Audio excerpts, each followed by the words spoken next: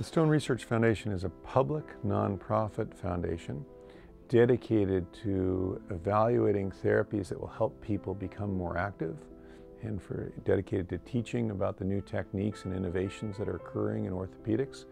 The foundation evaluates new surgical techniques and makes sure that they are in fact better or more efficacious than other ones.